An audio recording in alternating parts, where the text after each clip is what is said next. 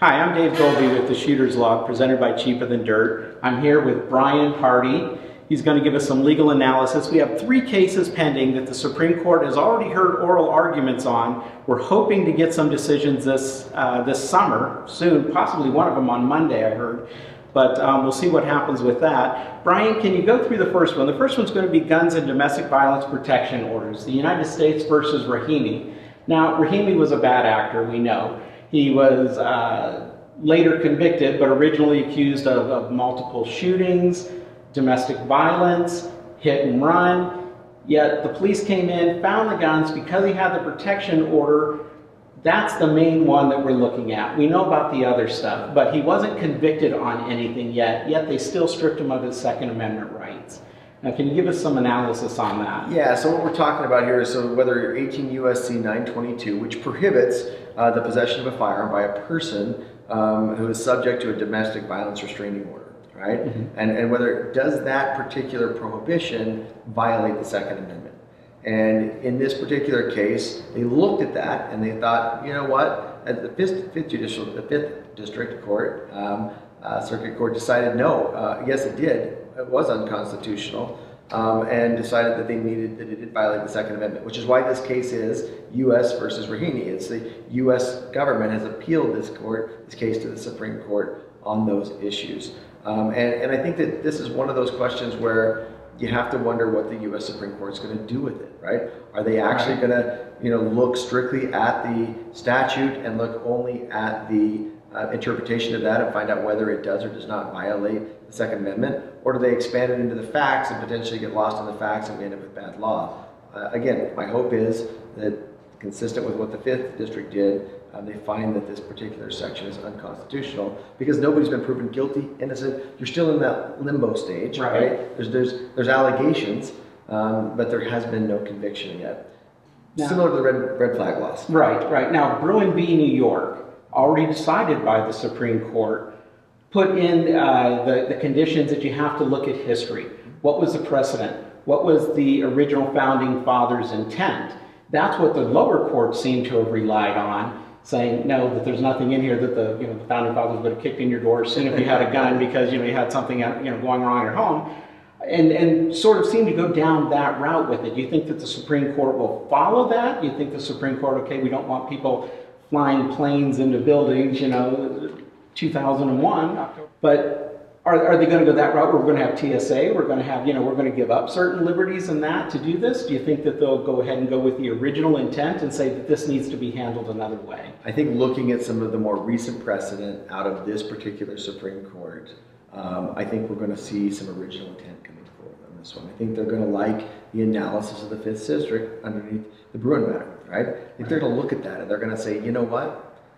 I don't think that these guys, this was originally intended that you're going to give up your right to defend yourself uh, when there's nothing been proven by you, by the state, by anyone else. There's been nothing proven against you yet. And so I think, I would hope um, that the U.S. Supreme Court sides consistent with what the Fifth Judicial, the Fifth District did, and uh, and affirms that we those rights are no no good. And again, this goes into all these. If they allow for this, We've got all these red flag laws that are coming in. It could be a very slippery slope. If they open up this door and allow for this to be able to, uh, to stand, then what happens with red flag laws when it's now not even the state coming in and saying, hey, look, we've got criminal allegations against you, but it's just your neighbor, your ex-girlfriend, or whatever it may be. Concerned mother. Concerned mother says, gee, my son's been going through a depression. He broke up with his girlfriend. He owns some firearms and I'm worried about him. Come in and get all those out of here all of a sudden stripped of your Second Amendment rights, not based on any law, just a feeling. None of us want a bad thing to happen. None of us want a mass tragedy to happen.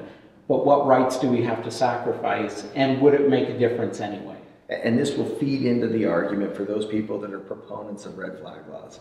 If the court comes down and finds in favor of the United States in this particular case and determines that yes, this is okay to go in and preemptively take somebody's uh, constitutional rights away from them, then again, the proponents of red flag laws are going to be calling this a victory, and they're going to be moving forward with those laws so that you, know, you could potentially be stripped of something without anything more than a simple accusation.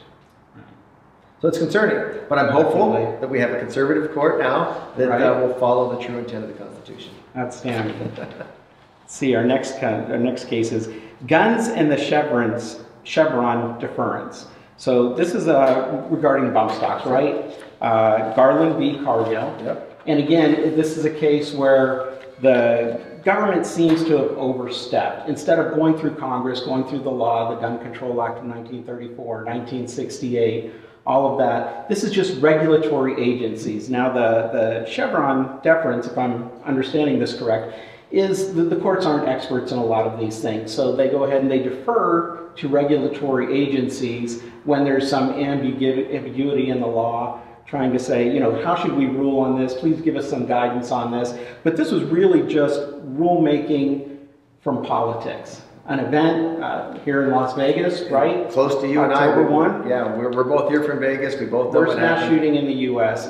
Dozens killed, hundreds uh, injured. He used a dozen guns equipped with bump, bump stocks. One actor, though, just one person intent on not worrying about the law, anyways, did this, which originally called uh, President Trump at that time called for this. It's been amped up over President Biden, where now this is becoming another one of these slippery slopes where it could go down to pistol braces, triggers. If they don't like sights on a gun or something like that, they just suddenly declare we're going to re reinterpret a rule. Is, is that what's going on? So yeah, so like you talked about in Chevron, so when a court, you know, they don't have a level of expertise. A lot of times, statutes, unfortunately, legislatures, legislators on the Hill aren't um, exactly, you know, there, there's ambiguities, there's not exactness in their phrasing, um, there's potential questions as to what something may or may not have been intended to mean, and so the regulatory agency then has to pick this up, right, and now run with this legislation that was passed and figure out how do we apply it to the actual when rubber hits the road, right? Right. And in doing that, they come up with rules and they do rulemaking stuff, and we've seen a lot of the rulemaking that ATF has engaged in recently. Um, and courts are generally going to give deference to those rulemakers because they're the ones having to deal with the rubber when it hits the road, in my example, right? Um, and, and so they try to give deference to them within reason, right? Right. And that's going to be the key here is whether something can be reasonably interpreted to be that way. Um, other, you know, and, and so when they're looking at these particular, in this particular regulation, the rule, for example, um, the court, the lower court actually came back and said, you know what, uh, this is unambiguously that a bump stock is not a machine gun. And therefore, this looks more to be politics inserting itself into rulemaking than regulators simply looking at what was the legislative intent and trying to apply the rubber to the road. And again, the hope is, is that while most deference is given to them, they are held in check, and I think it would be a good thing, um, irrespective of which party or political boundary you lie on. Nobody should want regulators with a agenda, with an- any agenda, one way or another, um, coming down against you simply because they have power, right? Yeah, or, or just literally making a new law, turning hundreds of thousands of people overnight into a felon. Now, there, there is things where um, they're what's called friend of the court, where they can go ahead and submit a brief. This is our opinion based on our experience. Can be on either side. Second Amendment Foundation often does that. And it seems to me that this could just as easily, instead of deferring to this agency to give them the answer, they could still just submit the brief, submit their opinion, and then the justices are making more of a decision instead of an agency trying to make law and circumvent Congress. Well, I think to get standing, they needed to make sure that they went ahead and created the rule, then somebody had to challenge the rule, and that's how it gets into the court system. Uh, but it, on this particular issue, you know, we have an agency that went too far. And, and what a surprise, government might go too far. Saying this is so. It never happened. And in this case, government appears to have gone too far. Um, and I think that this is an agency that has that, that potential um, to go too far and has been shown to go at least too far in the minds of many Second Amendment holders often, right? And they take um, very small nuances in regulation and create a whole body of rules, because it's not law, but they, they seem to sometimes think it's law, but create a whole body of rules. And when those rules go too far because they're no longer tied directly to the legislation, but instead they're tied to policy and agenda, I think it becomes a dangerous sport. And that's what we're engaging in right now. What we're seeing is people are, and regulated regulatory bodies are engaging in this particular overreaching And I really do hope that the uh, U.S. Supreme Court looks at this and says, you know what, you went too far, um, and and sets this precedent that you know agencies need to, if they wanted to have this change, they could always go to their legislatures. See, that's what's amazing about this is you and I can go to the legislature, but guess what? The regulatory agency, they can go to Congress as well and say, hey, Congress, why don't you make the law clearer on this issue or the other? But those people there are subject to electors, right? And right. the regulators aren't subject to reelection or anything.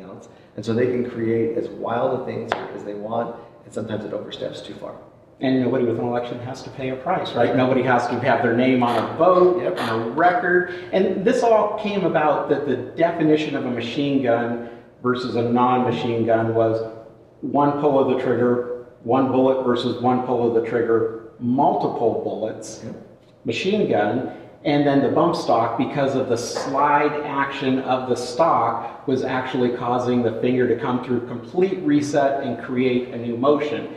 That's why back in the Gun Control Act of 1968, they updated what they had done in 1934. Instead of saying a pull of the trigger, they would say an action of a trigger.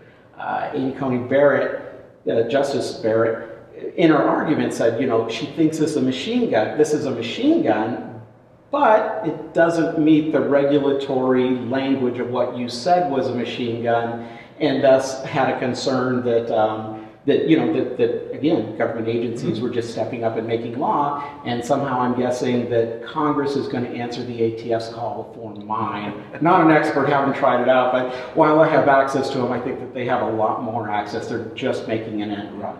Well, and if they want, again, if Congress wants to make this law, let Congress make the law, not the agency.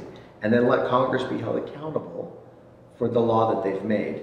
Um, but you can't go around and say, look, we're going to have these agencies make the law because we're, we want them to, so that we don't have to answer um, to our constituents for what's going on.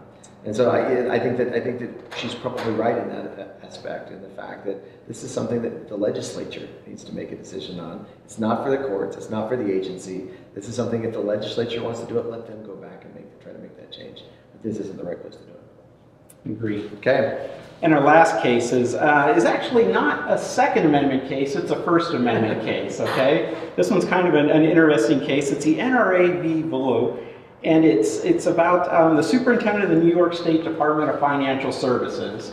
She comes out after the Parkland, Florida shooting, the school shooting there, and, and, and urges, urges in a, in a non-binding memo, uh, financial companies saying, hey, are you sure you really want to risk your reputation by dealing with uh, anybody in the gun industry. Uh, as a result, the NRA, NRA Insurance Services, a bunch of people pulled out, wouldn't get, you know, wouldn't uh, wouldn't work with them anymore. You know, in my opinion, it's a little bit like Al Capone saying, "I didn't have a gun. I just made a recommendation to him while all my henchmen were standing around me with guns, going, "Are you sure this is what you really want to say tomorrow in court?"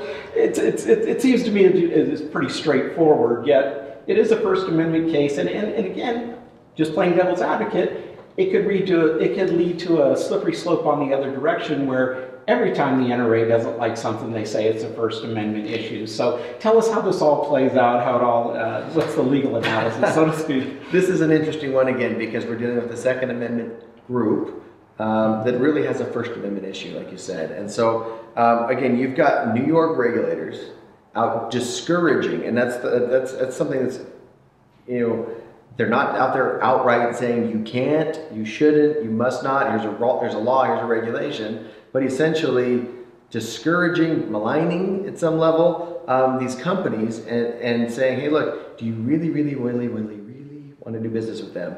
And then you've got a government agency that government, as we know, has a lot of power over insurance and banking and all the rest of these things. They're highly regulated in industries.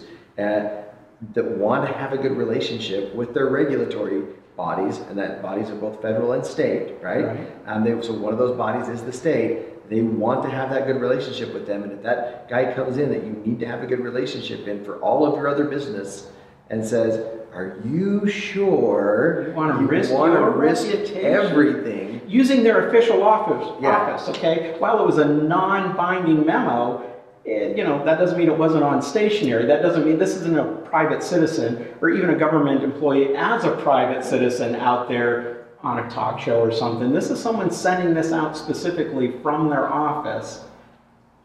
At, at that point in time, I do believe it creates coercion under the First Amendment. And, and that's it's a violation, uh, you know, in my opinion. Again, I'm not the justice sitting up there, but I think that one of the most sacrosanct things we have, the reason it is the first of all of the amendments, is our freedom of speech, right? We have a right to have an opinion, to express that opinion, and not to be retaliated against for that opinion by, by the government, right? Now that doesn't mean that you and I can't disagree. Absolutely, right? If if there were to be a public outcry and a company decides to say, you know what, as a result of public outcry, I'm going to go ahead and take action against this particular, I'm not going to carry guns inside my store anymore. We, we saw that a while back, right? Um, and, and then the public outcry also on the other side of that gets to say, fine, we won't patronize that store, right? That's how the First Amendment works, right? People can take a position, businesses can take a position, and both sides of that can decide how that business is going, whether they're going to do business with that business or not. But the government, the government doesn't get to take that position and go in and essentially coerce people not to do business with somebody else. In doing so, they've harmed them. Um, they've harmed many of us, many gun companies who are sitting in that same similar situation. I mean, really, the NRA is standing in front of, in this particular case, every other gun owner business because I, I know many of my clients who are gun owner businesses who have trouble having banking relationships because sure. of this particular issue, right? And so the NRA is taking it head on for themselves, obviously, but for the rest of us as well. And so I give them comments on that as well. Definitely. Now, correct me if I'm wrong on this, I'm not the legal scholar in this discussion, but one common misconception, the First Amendment doesn't mean you can say anything, anytime, anywhere. It's really just a protection from the government stifling your speech under the right conditions? Well, it can be both, right? Because we have defamation actions that stem mm-hmm. underneath the First Amendment, so that stifles an individual because you can't say anything, right? Um, it, it, there are certain protections that we have as individuals from other individuals, right? Mm-hmm. Um, they can't malign you in a way that harms your business, or there's, there's a whole group of, of law out there on defamation, whether it's going to be talking about loathsome diseases and you know all different types of things that you can accuse people of. It also protects people from being in danger, right? Yelling fire in a movie theater, right? Exactly. That's not a First Amendment right. That uh, you know you don't get to go create chaos with things. But the government itself cannot begin taking positions on things or forcing businesses to take a position against another business, another operation, or another entity by using their power and influence. That's coercion, right? Um, uh, and it does violate the First Amendment. So the First Amendment absolutely be at the heart. It, it is at the heart of everything, right? Is that we get to have different positions on things. We get to do that, and businesses get to operate. Now, a business can choose but they can't choose under undue influence, right? right? I mean, if you're Dick's and you want to choose not to sell firearms, that's your choice, and you'll you'll you'll bear the market consequences for that. But you don't get to have that choice because you were coerced into making that choice by a government agency. That's, uh, appreciate your time. Again, this is Dave Dolbee for the Shooter's Log. Be sure to like and subscribe. And for all of your legal needs, Brian, tell us about a little bit about you and what you do. You're always welcome to reach out to us over here at Marquis Aurbach. Um, we're here in Las Vegas. You get a hold of us at 702-382-0711 or check us out at maclaw.com. And you do a lot more than just personal, obviously. You represent a lot of the major firearm companies within the industry, do or have. Yeah, we, we do. We take care of a lot of litigation for many different companies and then some do some advising and consulting on things as well. Thank you.